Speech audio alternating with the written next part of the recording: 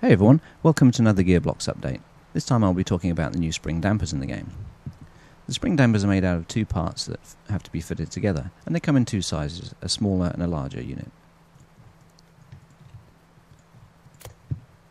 The spring dampers are attached to the rest of your construction using axles. And the axles can be attached either using a hinge or a rigid attachment.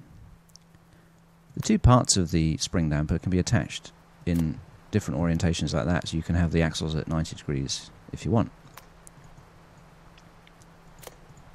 Once the spring damper is unfrozen, you can see it'll extend as the spring pushes it, the two parts apart like that. The two parts of the spring damper are actually attached at the midpoint along their range of motion, so in this case it can move one unit in that way and one unit out that way. There's a larger spring damper that has a greater range of movement. So in this case it can move two units in and two units out.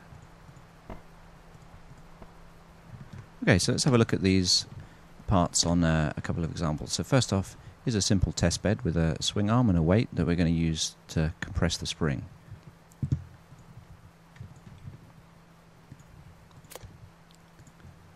So let's attach that like that. So once that's unfrozen, you can see the spring is now pushing uh, the arm up, and it's under compression from the weight pulling it down. Now by hovering over the spring damper and uh, holding Shift and uh, E, we can bring up the part behavior dialog and adjust the spring rate and damping.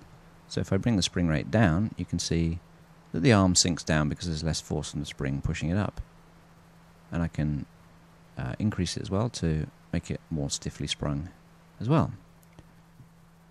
I can adjust the damping, so if I bring that all the way down, you can see it becomes very, very bouncy. And I can uh, push it all the way up. You can see the mo movement's now very stiff. And actually, when it's released, it, it takes a little time to be pushed up by the spring because the damping is kind of holding it back. The larger spring damper not only has a greater range of movement, but it also has higher spring and damping rates. So it starts at a higher default and can go up um, to twice the values that the smaller one can. And one last thing to mention is that the uh, spring rate can be reduced all the way down to zero, and then the spring damper becomes just purely a damper. So you can see there's no spring force anymore, but it just lets the weight down gently. Okay, so let's have a look at this on a simple vehicle. So here we have uh, um, a couple of uprights that move up and down that are attached to the chassis with uh, these swing arms that that let the uh, suspension move up and down, and the uh, spring damper is attached rigidly to to the rest of the upright to stop things flopping around. I've just implemented steering using a couple of servos like this just to keep things simple. Otherwise, you'd have a bunch of linkages and stuff as well. Um, and I just want to keep things simple for this this example.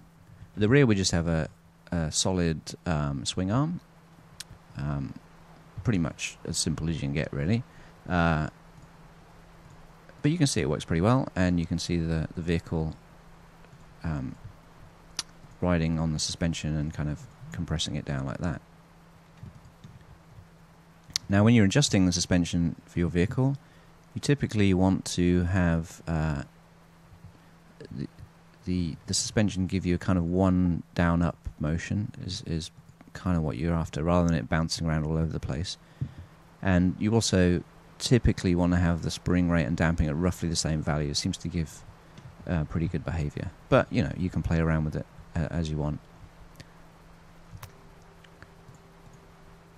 As I say, this is a very simple uh, um, suspension geometry. You can build all sorts of kind of different kinds of suspension. Um, um, yeah, and I can't see, wait to see what you guys build with these new parts.